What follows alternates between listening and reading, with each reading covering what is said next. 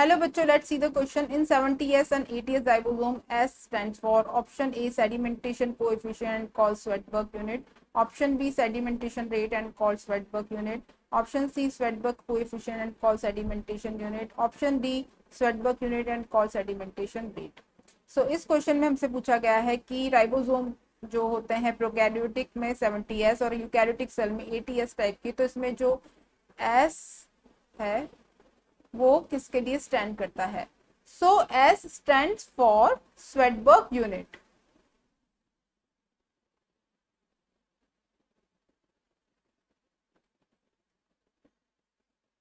it is stand for sedimentation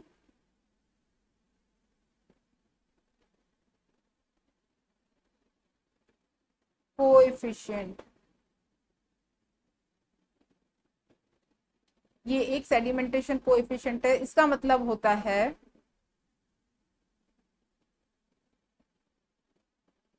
rate of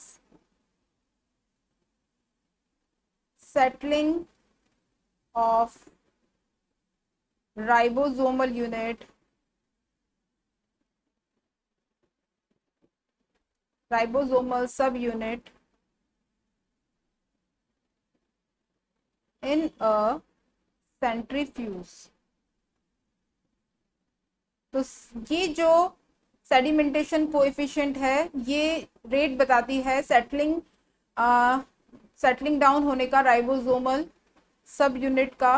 centrifuge में. Okay so so, इसे Svedberg unit क्यों कहा जाता है? क्योंकि ये दिया गया था एक साइंटिस्ट के थ्रू जिन्हें कहा जिनका नाम था थियोडोर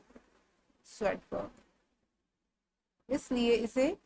स्वेटबर्ग यूनिट भी कहा जाता है. So option A is right answer sedimentation co